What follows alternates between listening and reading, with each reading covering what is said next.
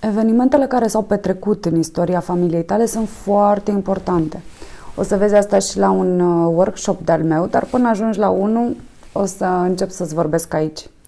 Voi începe cu familia ta de origine, cu familia ta largă și îți va explica oarecum de ce nu încep cu trecutul tău personal și cu copilăria ta. Și fac acest lucru pentru că aceste aspecte din copilărie sunt diferite. Pentru că putem să vedem traume foarte importante care au o influență puternică, evenimente traumatice care au o anumită influență. Dar nu toată lumea și nu fiecare copil are aceste experiențe traumatice în copilăria sa. Da? Cu atât uh, mai mult dacă nici nu și le amintește. Dar atunci când ne uităm către familia extinsă și privim către ultimele generații, către părinți, către bunici, către străbunici, dacă privești către unchii tăi, către mătușile tale, cu siguranță fiecare dintre noi va găsi diferite elemente, anumite evenimente, unele chiar traumatice și o să-ți explic mai târziu cum sunt copiii dintr-o familie conectați cu aceste evenimente care s-au petrecut în uh, sistemul extins. Așa că o să începem cu asta. Copiii poartă poverile. Membrii familiei sunt uh, cu toții interconectați. N-aș vrea să te șochez, dar uh, vreau să-ți spun că ești mult mai conectat decât ți-ai putea vreodată imagina cu toată familia ta. Și e clar că poate ai dubii în privința a ceea ce îți spun. Și în niciun caz nu vreau să mă crezi pe cuvânt. Nu sunt de acord. Vreau doar să experimentezi pentru tine, să verifici pentru tine. Am lucrat eu însă mai bine de 13 ani ca și client și am acordat atenție acestor dinamici familiale.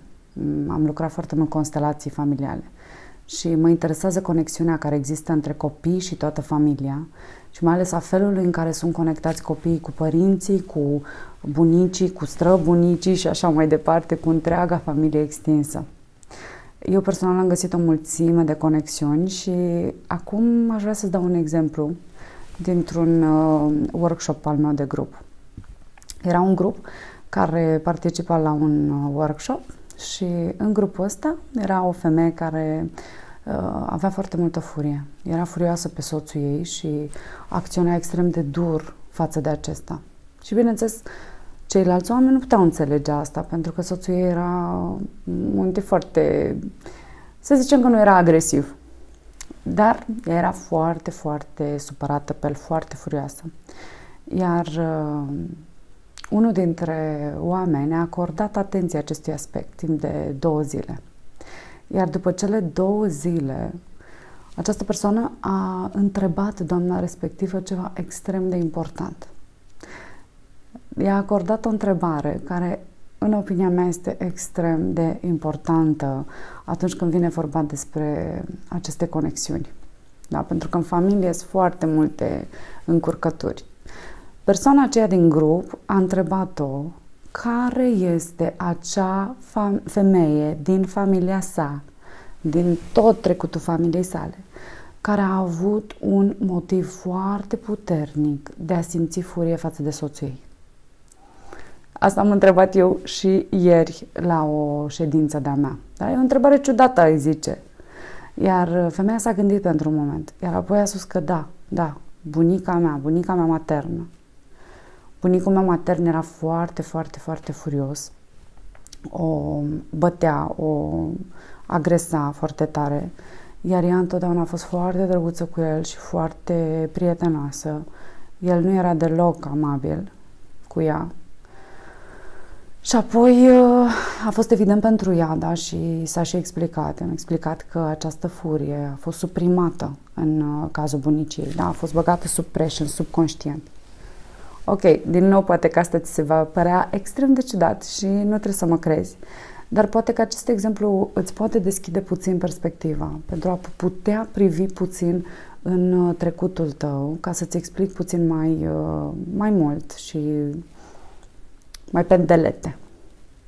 aș putea spune că suntem conectați cu absolut fiecare persoană din toate generațiile trecute din familia noastră.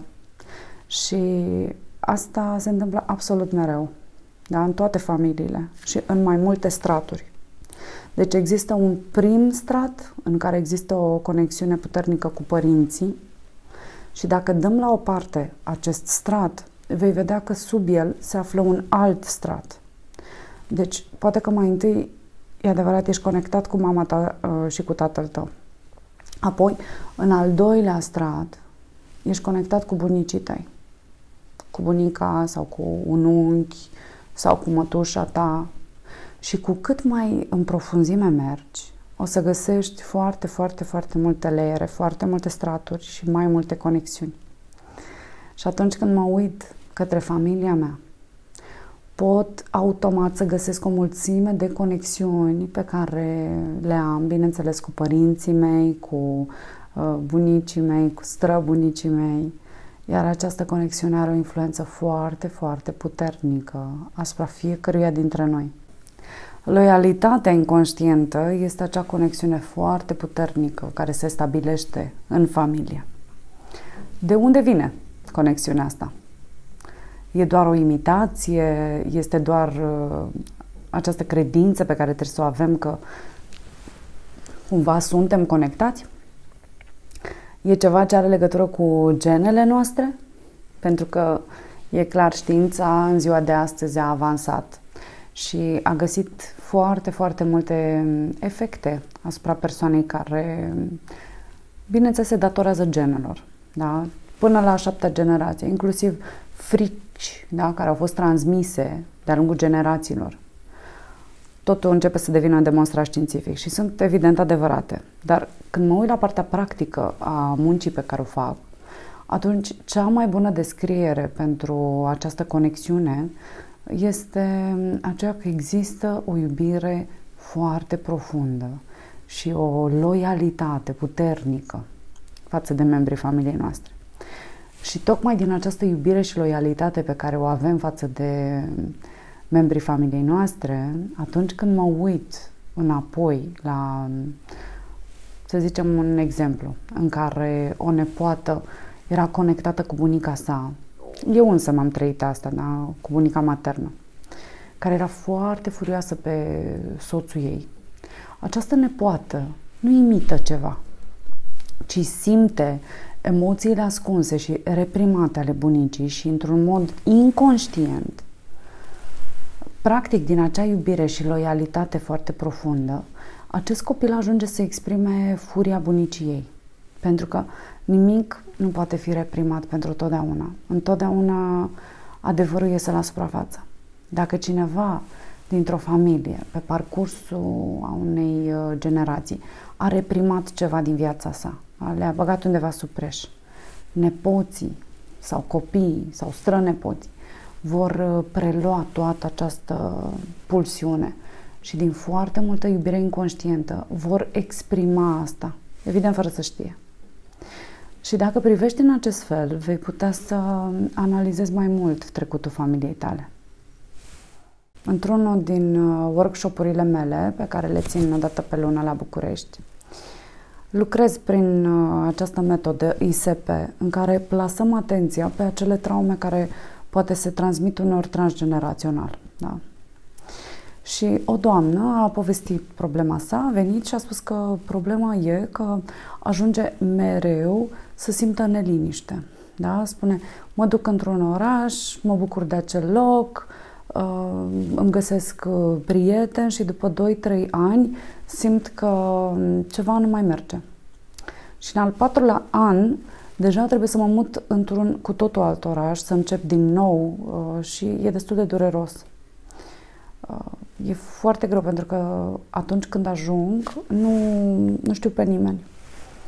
Dar încep din nou asta, îmi găsesc noi prieteni, uh, un nou job, un nou uh, serviciu și așa mai departe. Și apoi încep să mă bucur, încep să mă relaxez, dar ulterior vine din nou această agitație, această neliniște și asta s-a întâmplat de 3 sau 4 ori în toată viața mea și nu știu, chiar nu înțeleg de unde vine asta. Ok? Și bineînțeles sunt toate workshopurile mele, atât online cât și live.